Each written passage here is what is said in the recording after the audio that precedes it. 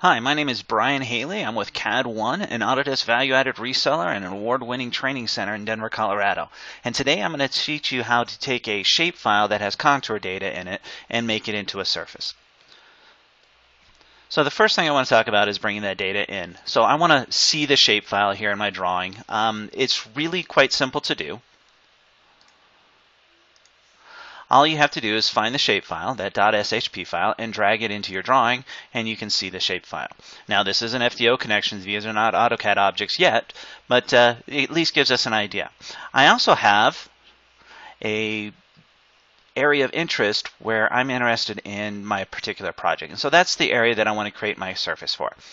So the first thing I'm going to do is I'm going to go create the surface. So on the Home tab, Surfaces, I'm going to choose the Create Surface from GIS data. Pretty simple process, walk your way through it. So the type of object, surface, give it a nice name. So GIS data or something along those lines. A style, uh, I recommend that you use a style that doesn't display a lot of data because typically with GIS data you're going to have a ton of points in here and the fewer pieces that you display, the better your drawing will perform. So I'm going to use a contours 5 foot and 25 foot design. Right, just step our way through it. The data, so this is going to be a shapefile. So I'm then going to connect to the shapefile. And then you have to log in. I'm not sure why you have to do that part, but you do.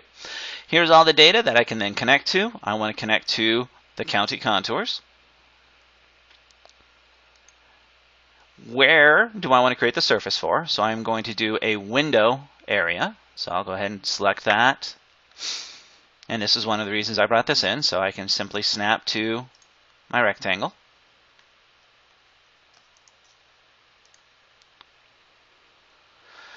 The query type. In this case, I definitely want to do a crossing. I don't want to bring in just the data that's inside of it. If it crosses the boundary, I also want to use that. And then the data mapping. This is the important part. What piece of data from that shapefile represents the elevations of the contours? So in this case, contour ELE.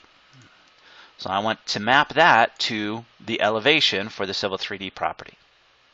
Go ahead and finish that.